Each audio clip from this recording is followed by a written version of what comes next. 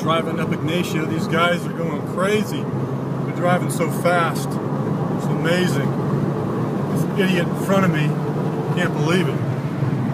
I don't know about some of these people.